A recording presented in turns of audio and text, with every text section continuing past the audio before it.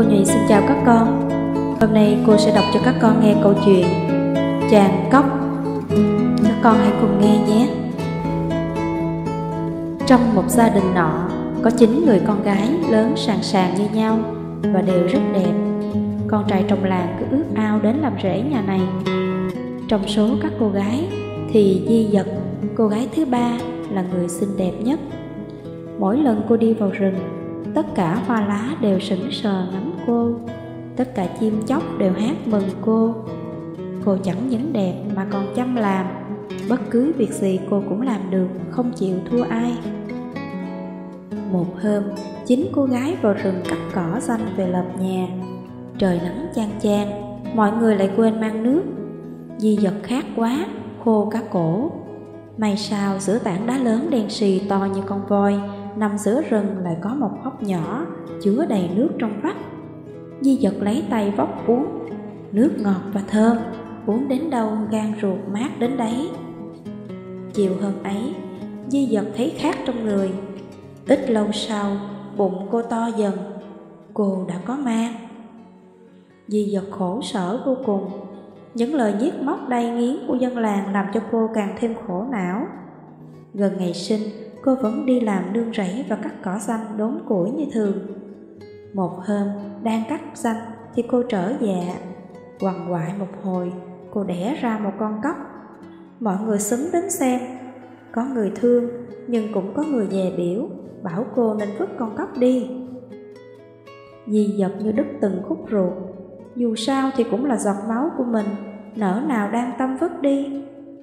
Trông thấy nó xấu xí, không thành người, Ai cũng ghét bỏ. Di giật lại càng thương, Nhưng cô chỉ sợ bố mẹ không cho nuôi. Trong số người đi làm hôm đó, Có Y Hơ Dinh, Rất thương Di giật Y Hơ Dinh bảo, Để tôi về hỏi bố mẹ cô xem sao. Một lúc sau, Y Hơ Dinh trở ra bảo, Cô hãy đem con về. Di giật bọc con vào tàu lá chuối rừng, Trở về nhà. Về đến nơi các cô em của Di giật xúm vào xem. Họ định quật chết con cóc, Sợ nó sẽ gây tai họa về sau. Di giật hoảng quá, Mang con chạy vào rừng, Tìm được một chiếc láng bỏ không. Cô liền ôm con vào ở đó. Bụng cô đói cồn cào, Cả ngày chưa có một hộp cơm nào vào bụng. Cô chưa biết làm thế nào Thì bỗng nghe cốc nói, Mẹ đói lắm phải không? Mẹ cứ ra khóm cây kia, Ở đấy có một buồng chuối chín, Mẹ lấy mà ăn. Dì giật nghe lời con, chạy ra tìm. Quả nhiên cô tìm được chuối ăn. Mừng thấy con sớm khôn ngoan, lòng cô tự nhiên bớt đau khổ. Cô về đến nhà chủ làng xin một manh chiếu về lót cho con nằm. Và ngày ngày để đứa con ở nhà, cô vào rừng hái măng, đào củ, làm rẫy, phát nương. Một hôm, thấy mẹ mệt nhọc, cóc bảo mẹ, Mẹ à, con muốn đi làm rẫy, phát nương giúp mẹ. Con bé thế, đâu có đủ sức làm. Mà như con thì làm thế nào được? Không, mẹ đừng ngại, con làm được.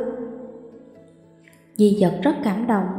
Cô lấy chiếc cút nhỏ xinh buộc vào chân con. Cóc cứ thế nhảy đi. Khi đã khuất mẹ, Cóc liền cởi chiếc áo da cóc ra Và biến thành một chàng trai cao lớn, Đẹp đẽ lạ thường. Thấy anh, Gió không thổi nữa. Thú rừng cũng ngay ra mà nhìn. Mấy cô gái phát rẫy bàng hoàng, bỏ rơi dao lúc nào không biết. Anh cầm cuốc chạy nhanh như tên đến một cánh đồng rộng bao la. Anh hỏi con chim gáy đang ăn ở đấy. Này chim ơi, chim có bay qua được cánh đồng này không?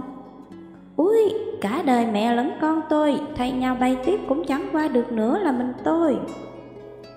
Chàng cóc liền hóa phép, tức thì một đoàn chừng 300 người hiện ra trước mắt anh sao cho họ phát cây làm cỏ rồi cuốc đất, trồng lúa, trồng khoai.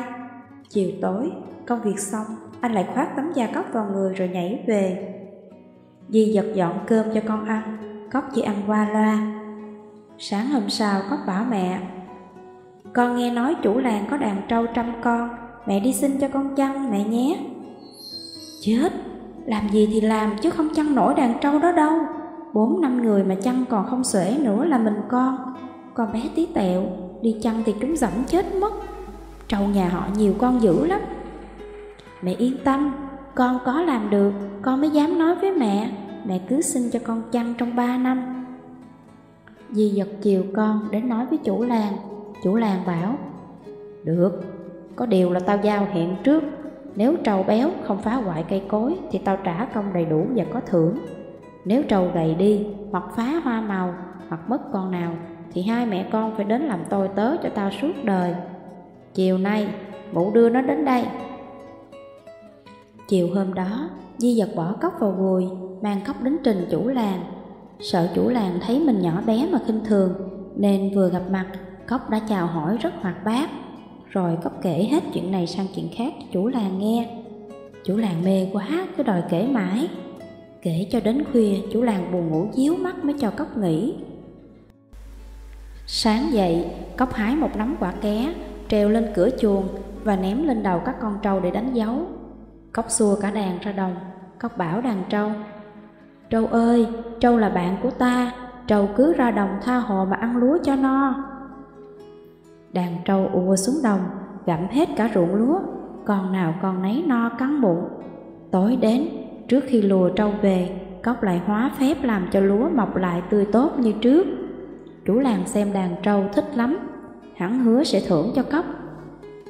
Thấm thoát ba năm trôi qua, Cốc về bảo mẹ đến nói với chủ làng cho Cốc xin thôi việc Và dặn mẹ, nếu lão trả tiền thì đừng lấy, Mà cứ xin cho được một con trâu trắng. Di vật làm theo lời con dặn.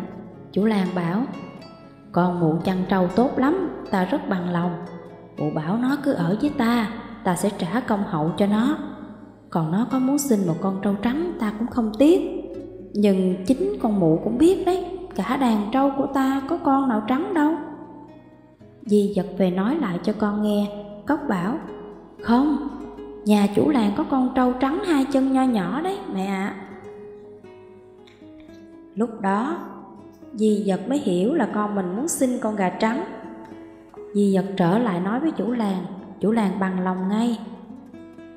Trong lúc mẹ đi vắng, Cốc chạy lên nương rẫy đã phát trước kia, hóa phép làm thành nhà vàng, sân bạc, trong đó có đủ già, trẻ, gái, trai ra vào tấp nập. Di Giật trở về mang theo con gà trắng, thấy con vui vẻ, cô sung sướng hỏi con, Bây giờ con còn cần mẹ làm gì nữa không? Mẹ ạ, à, con muốn có một chiếc cần câu để câu cá mẹ con ta ăn. Di giật bèn tìm một cây trúc thật đẹp làm cần câu cho con. Cốc mang cần câu ra bờ suối, đặt trên bờ rồi nhảy xuống nước một hồi, bắt lên một sâu cá. Cốc sách về cho mẹ, dì giật kêu lên. Úi trời, nhiều quá, thế mà mẹ cứ nghĩ con không câu được. Cô định đem nấu tất cả. Cốc bảo, không cần nấu nhiều, chỉ nấu hai con cũng tha hồ ăn mẹ ạ à. Nấu thế thì ít quá con à Thôi thế thì mẹ cứ nấu cả nhưng để lại cho con nửa con để con nấu nơi khác. Hai mẹ con bắt hai bếp. Di dật nấu xong đến mở nồi của con ra xem thì lạ thay. Không phải là nửa con mà là đầy một nồi cá. Cô biết con mình có phép lạ. Sắp đến mùa hội đâm trâu hàng năm cứ đến ngày đó, người ta kéo từ làng này sang làng khác dự hội. Cóc đòi mẹ cho đi lấy nước. Lúc đi, Cốc cầm theo một ống nứa nhỏ trong đựng ít gạo. Mỗi lần qua một con sông, Cốc lại bỏ ống nứa xuống nước và nói Nếu có cha tôi ở dưới sống thì ống này chìm xuống. Qua hai con sông, ống nứa vẫn nổi. Đến sông thứ ba, ống nứa trao mấy cái rồi chìm hẳn. Dòng sông bóng đục ngầu, sóng nổi cuồn cuộn. Cốc cười bảo, cha đừng dọa con, con không sợ đâu. Mặt nước bỗng trở nên yên lặng, rồi từ dưới nước hiện lên một người đàn ông vóc dáng to lớn. Cốc nhảy tới, người cha bế con lên, hai cha con trò chuyện hồi lâu rồi chia tay. Cốc hẹn với cha đến ngày hội đâm trâu sẽ đưa mẹ tới. Ba hôm sau, Cốc bảo mẹ mang con gà trắng sang làng bên dự hội. Gần tới bờ sông hôm trước, Cốc bảo mẹ đi chậm lại, còn mình chạy lên trước gọi cha. Lúc Di dập tới, thấy một người đàn ông đang đặt cốc trên bàn tay. Cô sợ quá, kêu lên, anh không được bắt con tôi. Cốc cười bảo mẹ, mẹ ơi, cha con đấy, hôm nay cả họ nhà ta cũng sẽ đến dự hội đâm trâu với chúng ta. Một chốc, từ dưới nước kéo lên rất nhiều người, ai nấy ăn mặc rất lịch sự. Cốc lại hóa phép biến gà trắng thành trâu trắng. Họ mổ trâu ăn mừng, vui chơi suốt một buổi, đến chiều mới rủ nhau về. Còn hai ba người, Di dật mới bảo chồng, anh đã gây cho tôi bao nỗi khổ, tôi phải chịu đắng cay một mình suốt mấy năm nay. Thần nước là cha của cóc bảo vợ. Tôi rất yêu nàng, nhưng vì kẻ ở nước người ở cạn không lấy được nhau nên mới phải như vậy. Thôi, bây giờ con nó đã khôn lớn, nàng cứ ở với nó, nó sẽ làm cho nàng được vui. Sau đó, hai mẹ con di dật từ xã thần nước ra về. Mùa gió bão sắp đến, chiếc chòi của hai mẹ con ở đã ộp ẹp. Cóc bảo mẹ, chúng ta phải đi nơi khác dựng nhà thôi mẹ ạ. À. Vu rốc sắp đến đấy. Theo truyền thuyết ca đông, Vu rốc là người khổng lồ chuyên làm ra gió bão. Hai mẹ con thu xếp ít đồ đạc vào vùi rồi ra đi, đi mãi, cho tới khi tới vườn mía cóc trồng trước kia. Di giật vừa mệt lại vừa đói, Cóc hỏi mẹ. Mẹ đói lắm phải không? Bẻ mía kia mà ăn cho đỡ mệt mẹ ạ. Mía của người ta bẻ sao được? Cứ bẻ mà ăn, mẹ đừng sợ. Ăn mía xong, hai mẹ con lại đi ngang qua nương sắn, nương lúa. Tới gần chỗ lâu đài mà Cóc đã hóa phép dựng lên trước kia. Cóc bảo mẹ, Mẹ đứng đây, con vào trước xem sao. Cóc ung dung nhảy vào, lên võng nằm đu đưa một lúc, rồi sai quân lính ra mời mẹ vào. Di Dật rất sợ hãi, cô cho là người ta đã bắt mất con mình và ra bắt nốt mình. Cô nhất định không đi, lính trở và báo với Cốc. Cốc liền hóa phép ra thành một con rắn khổng lồ đến đuổi Di Dật. Di Dật sợ quá bỏ chạy. Cô chạy nấp dưới võng của Cốc, tự nhiên con rắn biến mất. Cốc mời mẹ ngồi võng và bảo con cho người ra mời mẹ, mẹ không chịu vào nên mẹ mới bị một phen hết vía đấy. Bây giờ mẹ con ta ở lại đây, làm chủ làng này, nhà này là của ta, trâu bò nương rẫy này đều là của ta, con sẽ cho người mời cha lên ở với mẹ. Mấy hôm sau, thần nước đến, bấy giờ thần nước mới làm lễ cưới di dật. Cả làng mở hội, mổ trâu mổ lợn ăn uống luôn ba ngày. Di dật ở với chồng con vô cùng phương sung sướng. Một hôm, Cóc bảo mẹ, Mẹ ơi, con đã lớn rồi, con muốn lấy vợ. Con ưng ai thì con đi tìm đi. Con nghe nói ở làng bên, Vu Dơ Ria có hai cô con gái rất đẹp. Cóc liền biến thành một chàng trai tuấn tú hùng dũng, cưỡi con ngựa ô cao lớn đến nhà Vu Dơ Ria. Nhưng không may, hai cô con gái của Vua Dơ đã nhận lời lấy hai người con trai của trời là Dơ Rốc và Dơ Ray, Cóc đành lên ngựa trở về. Mùa xuân đến, Dơ Rốc và Dơ Ray làm cổ rất to mời làng đến dự lễ cưới. Họ đang ăn uống vui chơi thì có một chàng trai trẻ phóng ngựa qua làng. Dơ Rốc, Dơ Ray cho người giữ lại và mời vào dự tiệc. Thấy chàng trai tuấn tú, các cô gái trong đám tiệc nhìn chàng chăm chăm, buông cần uống rượu, quên cả ăn. Chàng trai lên võng nằm đu đưa một hồi, rồi bắt đầu kể chuyện Chàng kể lại chuyện một chàng dũng sĩ đánh nhau với quỷ dữ để cướp lại người yêu. Chàng vừa kể vừa hát. Lúc đầu chàng còn nằm ở võng, về sau chàng đứng dậy. Giọng hát của chàng lúc hùng tráng, lâm ly, có lúc nhẹ nhàng, êm ái như tiếng cơ nhi. Có lúc sôi nổi như tiếng gió bão, có lúc dồn dập như tiếng trống, tiếng chiên thúc quân ra trận. Tất cả trai gái trong bữa tiệc hồi hộp lắng nghe, các cụ già suốt buổi cầm bầu rượu mà quên uống. Hai cô dâu bỏ cả chỗ của mình, tiến sát đến chàng trai trẻ tuổi. Dơ rây và dơ róc lúc đầu cũng bị thu hút vào câu chuyện. Nhưng khi thấy vợ của mình theo sát chàng trai thì nổi cơn ghen, hầm hầm về chỗ ngồi nóc rượu tì tì, mắt long sòng sọc. Câu chuyện kể hết, chàng trai chào mọi người rồi bước ra khỏi nhà lên ngựa phóng đi. Mọi người bàng hoàng như qua một giấc mơ đẹp, nhiều chàng trai cô gái muốn chạy theo níu lại, nhưng ngựa chàng đã phóng xa. Mấy hôm sau, theo tục lệ nhà gái lại làm lễ gả chồng cho con gái. Sau lễ này con gái mới chính thức làm vợ người. Hàng xóm của hai bên lại họp nhau ăn uống và vui chơi. Chàng trai hôm trước lại phóng ngựa đến. Hai cô dâu quên cả dơ róc và dơ ray, tiến lại ngồi cạnh chàng. Dơ róc và dơ ray liền chỉ cho vu dơ ria thấy. Con gái ông bỏ chúng tôi theo thằng kia rồi đó. Người cha vội chạy đến ghé vào tai hai con Nhưng cả hai đều trả lời Kể chúng con, việc gì đến cha? Chúng con yêu ai thì theo người ấy. Dơ róc và dơ ray giận dữ đứng lên dậm chân rung chuyển cả sàn Rồi bỏ đi. Chúng còn quay đầu lại hăm dọa Sáu tháng nữa cả nhà này sẽ ra tro. Họ hàng nhà gái kinh sợ. Hai cô gái cũng nắm lấy tay chàng trai xin cho theo. Chàng trai bảo, Dân làng đừng sợ, Hai cô đừng sợ. Nếu chúng cả gan gây tai họa cho làng, tôi sẽ giết chúng. Rồi chàng từ biệt ra về, Hẹn sẽ có ngày trở lại. Sáu tháng trôi qua, Trời hôm đó bỗng nhiên u ám, Một cơn bão ghê gớm nổi lên. Núi rừng rung chuyển, Suối khe nổi nóng, Nhà cửa, cây cối đổ âm âm Sắc bụi bay mù mịt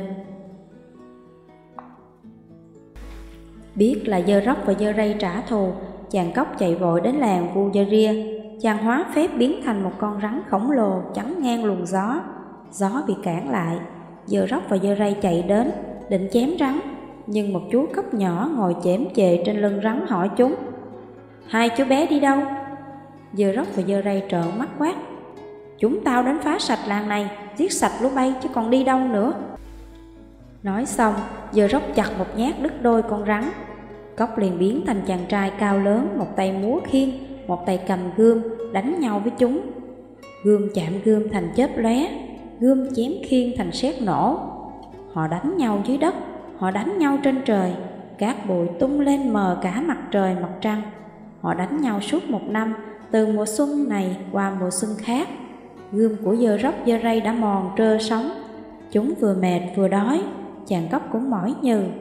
Thấy chúng đói, Chàng cóc vứt cho chúng một nắm cơm và bảo, Cho chúng mày nghỉ mà ăn cơm đã. Ăn xong, Hai bên lại đánh nhau tiếp. Hồi lâu, dơ róc dơ ray khát quá, Phải quay đi tìm nước. Cóc liền chém mạnh một nhát, Đầu dơ róc đứt đôi.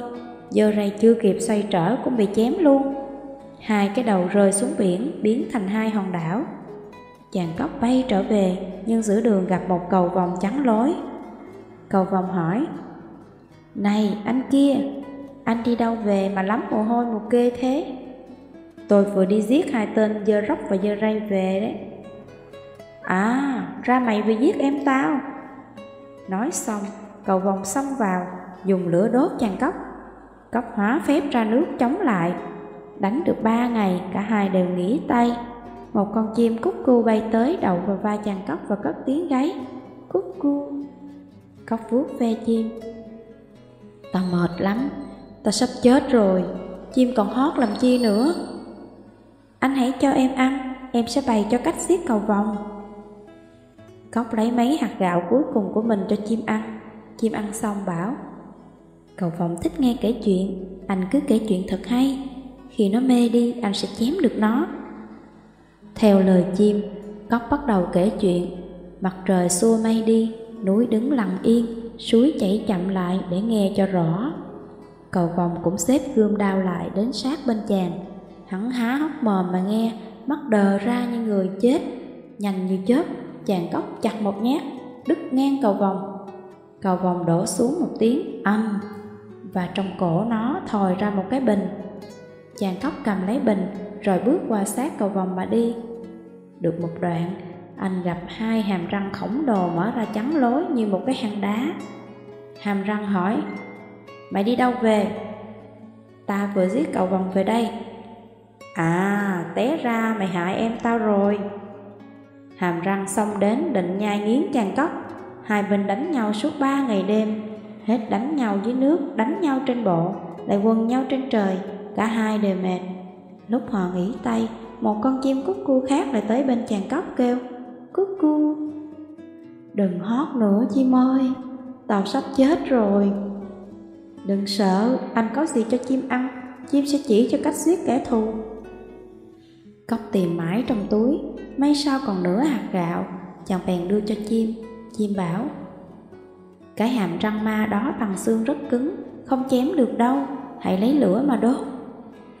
Cóc liền đốt cháy cả một khu rừng Chẳng mấy chốc hàm răng ma bị đốt ra tro Trên đường về Cóc lại gặp một thằng bé bằng bắp ngô, cầm lau ra chặn đường hỏi. Anh này vừa đi đâu về? Ta vừa đốt hàm răng ma về đây. À, ra mày vừa hại anh tao, tao phải trả thù. Nói xong, hắn vác lao đầm cốc. Cốc rút gươm chém, nhưng thằng bé nhanh nhẹn lạ thường, không thể nào chém trúng được. Chim cù bay qua thấy vậy liền nhắc, anh lấy cái bình của cầu vòng mà hút nó vào. Quả nhiên, chàng cóc sơ cái bình ra, thằng bé đã bị hút vào bình, chết ngạt trong đó. Sau khi thắng năm đứa con trời hung ác, chàng cóc mới về tới quê nhà. Lúc này, xóm làng chàng đã sơ sát, nương rẫy đã tan hoang. Chàng liền hóa phép làm cho mọi vật tươi tốt trở lại và xóm làng giàu đẹp hơn xưa. Sau đó, chàng cóc lại đến lập lại làng Vujeria và cưới hai cô gái làm vợ.